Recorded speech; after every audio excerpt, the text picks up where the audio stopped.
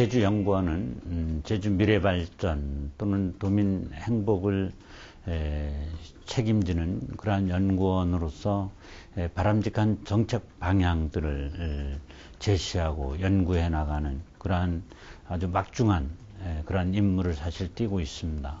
에, 그러한 맥락에서 볼 때 그 원장으로서 상당히 어깨가 에, 무거운 것이 이제 에, 사실입니다.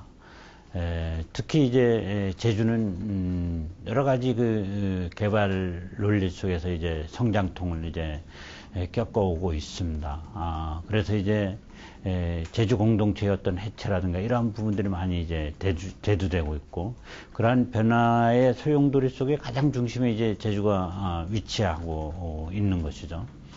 그래서 그 어느 때보다도 제주, 에, 제주인 제주 정신에 대한 그러한 음, 에, 정체성 확립이라든가 이런 데 상당한 에, 그 요구를 도민들로부터 받고 있는 것도 어, 사실입니다.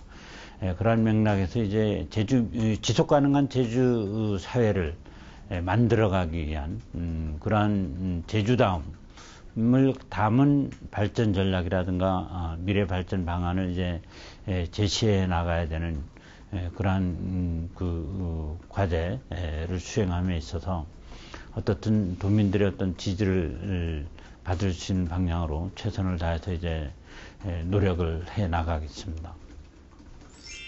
네, 지금 밖에서 본 제주 연구원과 이제 네. 그 인사청문회를 준비하는 과정 중에서도 제주 연구원 안에서 직접 겪어 오셨을 텐데 그 안에서 겪은 연구원은 어떻게 차이점이 있었는지에 대해서 한번 여쭤보고 싶거든요. 예, 도민들이 보는 제주연구원의 경우는 예, 상당히 어떤 음, 도정의 정책을 일방적으로 수행하는 그러한 기관으로 예, 왜곡되어 인식되어지는 경우가 없지 않아 있는 것 같습니다.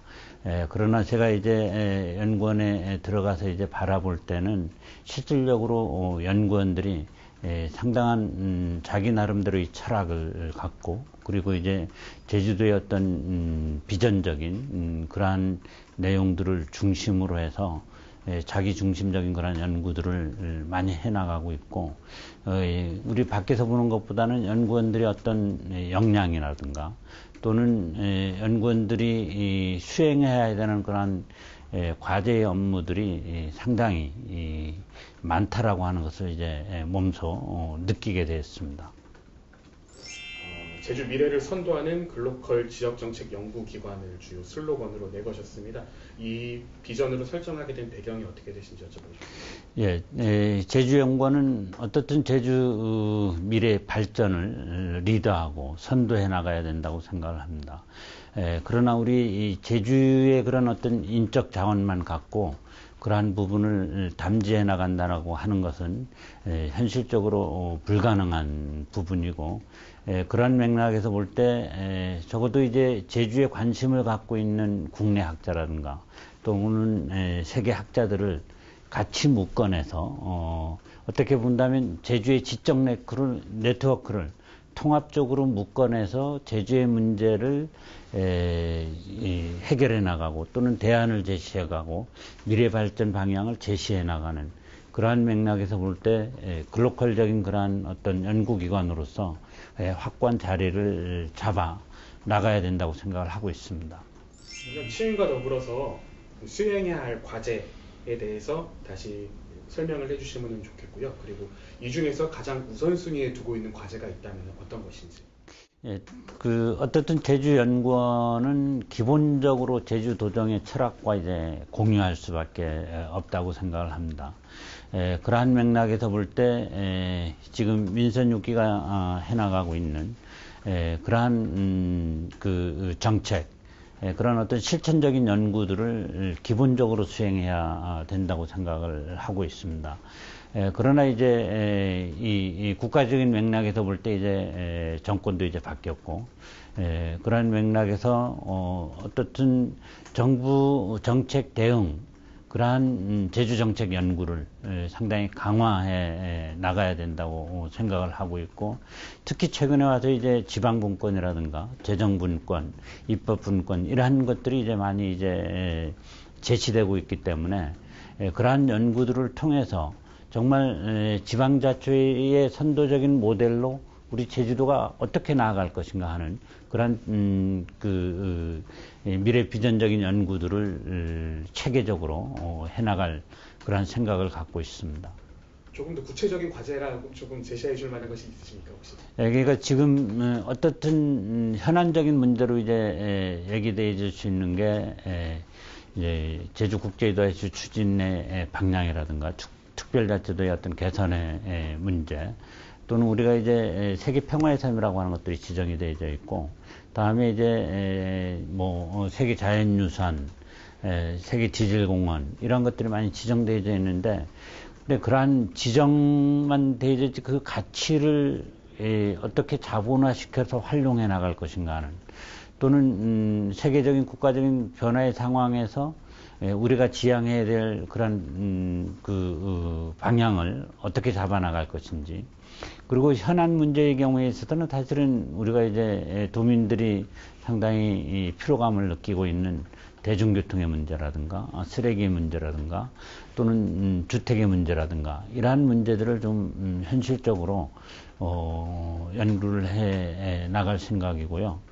그리고 이제 갈등 문제로 얘기되어주고 있는 음, 제2공항이라든가 또는 사삼의 어떤 그러한 또는 방향들, 공동체의 회복 이러한 부분들에 대한 음, 연구도 어, 필요하다고 생각을 하고 있고요.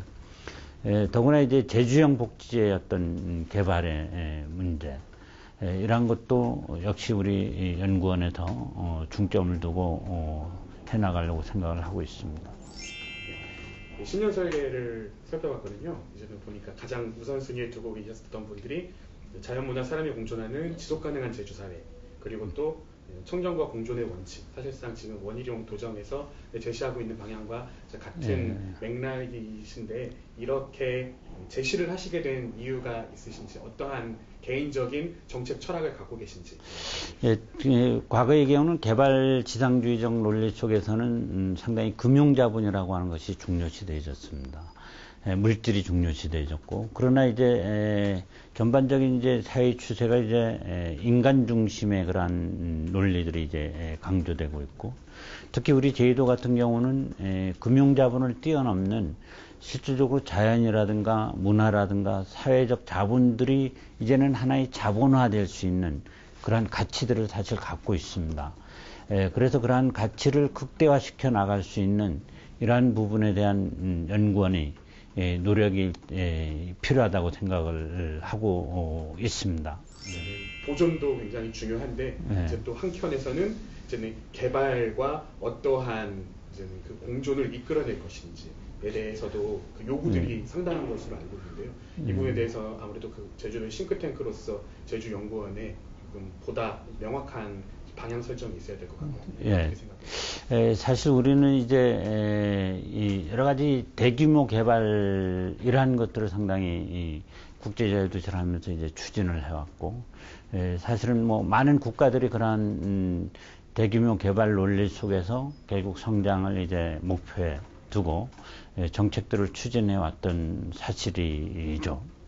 그러나 우리가 어, 태평양에 이스터 섬이라고 하는 섬이 있는데 그 섬이 사실은 이, 그러한 개발 논리 속에서 결국 에, 이스터 섬이 이, 상당히 붕괴되는 음, 그러한 현실을 우리가 목격을 하고 있습니다.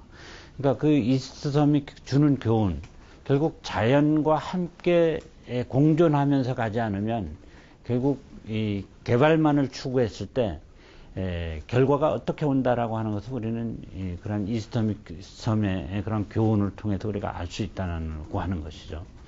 그래서 이제 많은 국가들이 또는 음, 그러한 자연과의 어떤 공존 속에 에, 지속 가능한 에, 사회를 유지해야 된다라고 하는 에, 논리 또는 철학들을 이제 에, 갖고 있습니다.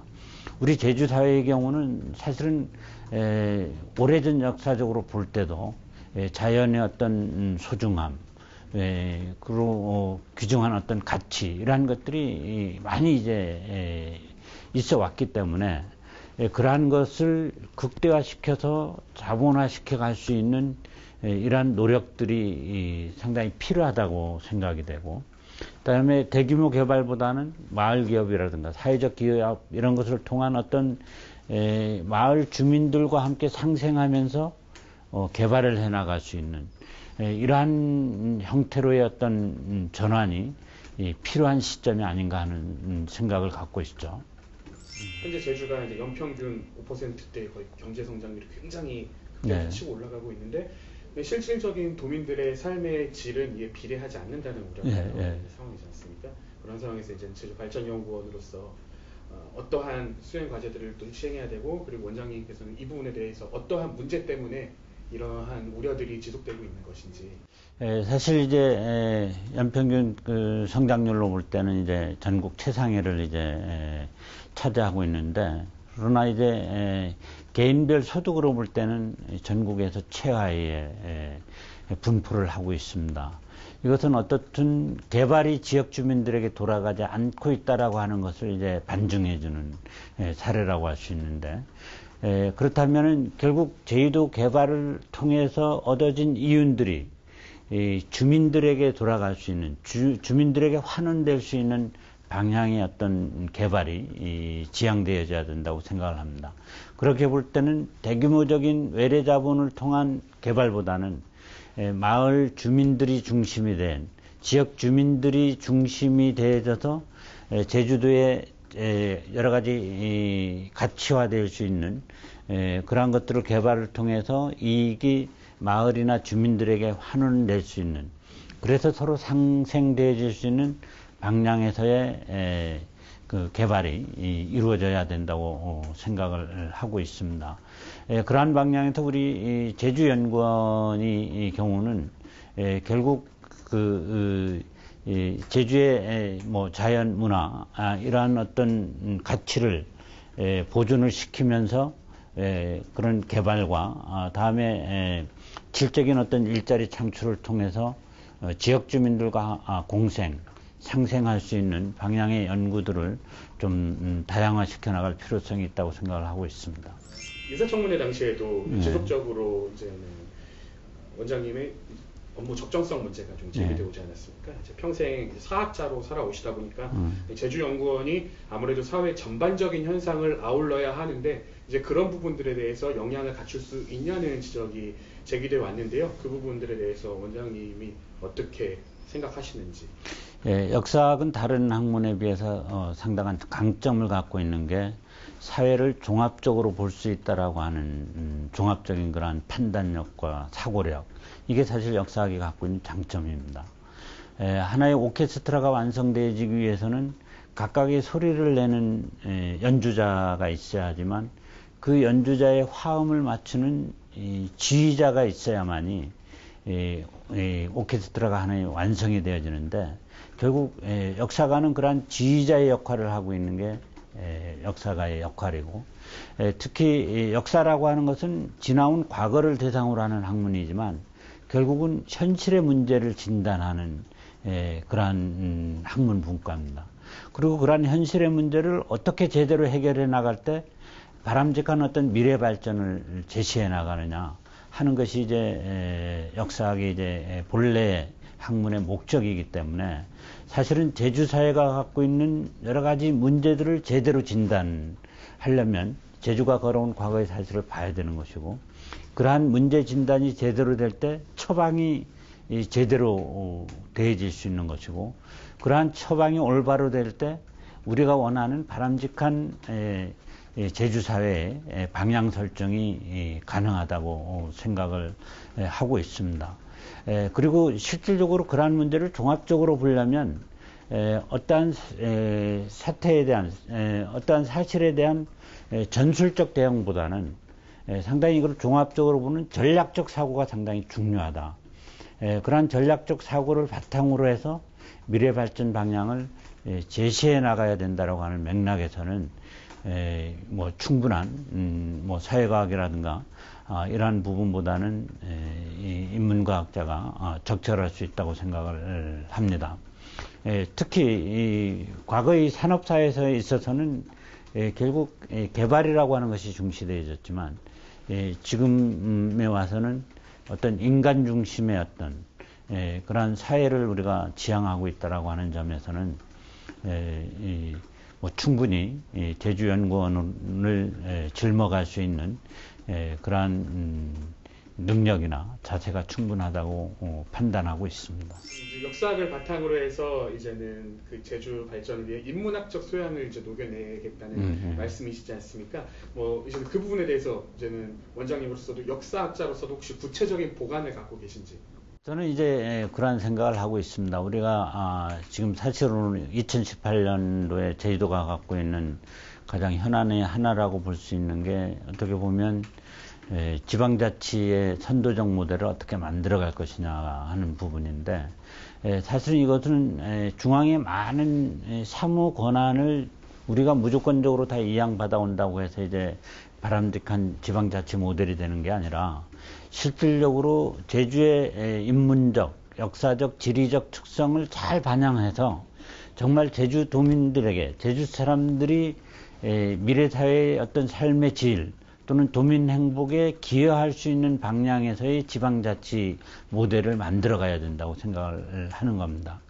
그렇기 때문에 사실은 어떻게 보면 에, 전라도 지방자치단체가 갖고 있는 지방자치 모델과 제주도가 갖고 있는 지방자치 모델이 같을 수가 없는 것이죠. 에, 결국 제주도민들에게 이익이 되고 제주도민들의 삶의 질이 또는 행복 지수가 높아질 수 있는 방향에서 에, 제주도의 에, 지방자치 선도적 모델을 만들어가기 위해서는 결국 그거는 제주가 갖고 있는 인문적, 자연적, 사회적 특성들을 제대로 이해한 속에서 그러한 방향들을 우리가 아, 설계를 에, 해나가야 된다고 어, 생각을 하고 있습니다. 일각에서 이제 제주연구원이 이제 도정이 추진하고자 하는 상황에 있어서 이제 때에 맞춰서 원하는 연구 결과를 내놓고 있지 않느냐 하는 지적이 있어 왔거든요. 이 부분들에 대해서는 어떻게 생각하시는지 여쭤보겠습니다. 예, 충분히 그 도민들의 입장에서는 그러한 우려를 할 수 있다고 생각을 합니다. 에, 그러나 이제 에, 우리 제주연구원의 경우는 제주도에 출연한 기관이기는 하지만 그래서 어, 철학적으로 제주도정과 이제 에, 공유를 해 나가기는 하지만 에, 그리고 이제 에, 제주도가 필요한 어떤 에, 정책의 실천적 연구를 에, 뭐 일부 이제 수행해 나갈 수밖에 없는 음, 상황이 있습니다. 그러나 에, 결국 이 무조건적인 어떤 제주도에서 요구하는 그러한 음, 정책 에 필요한 정책을 우리가 연구하는 데서 끝나는 것이 아니라 결국 모든 가치는 도민의 삶의 질 향상 또는 동민 행복에 에, 최우선 가치를 두고 어, 연구의 방향을 설정해 나가고 있고 또 그러한 방향에서 어, 연구가 아, 아, 진행되어지고 있습니다. 에, 그렇기 때문에 결국 도에서 요구한다 하더라도 도민 행복과 부합되지 않는 연구라고 한다면 우리는 음, 그, 그러한 연구에 대해서 에, 타당성이나 어, 적절치 않다는 그러한 음, 에, 필요성을 이제 에, 도정에 충분히 이, 제기를 하고 그게 바람직한 방향으로 에, 연구가 진행될 수 있는 그러한 길들을 찾아 나가고 있습니다. 제주연구원은 이제 에, 지난 20년을 이제 에, 걸어오면서 어, 국제 자유도시 추진이라든가 제주 특별자치도의 문제 또는 여러 가지 평화의 삶 이러한 굵직굵직한 연구들을 수행해 왔습니다. 아, 그리고 이제 민선 6기에 와서는 에, 에, 청정과 공존, 공존하는 사회 실현이라고 하는 어떤 미래 비전을 이제 에, 제시를 해, 해 왔습니다. 에, 앞으로 우리 제주연구원은 그러한 기틀 위에 새로운 도약을 위한 음, 에, 발전을 에, 지향해 나가려고 어, 하고 있습니다. 에, 그러한 속에서 어, 결국 에, 도민들의 어떤 삶의 질 향상, 도민들의 어떤 행복에 최우선 가치를 두고 결국 도민들과 소통하면서 에, 우리 연구원이 이 생명력, 도민들이 어떤 음, 그 에, 지지를 받지 못하는 연구원의 경우는 결국 에, 생명력이 있을 수가 없다고 봅니다. 그런 도민들이 적극적인 지지를 받을 수 있는 연구원으로 어, 거듭나기 위해서 최선의 노력을 어, 다하겠습니다. 에, 도민들도 어, 관심을 갖고 저희 연구원을 에, 지켜봐 주시기 바랍니다.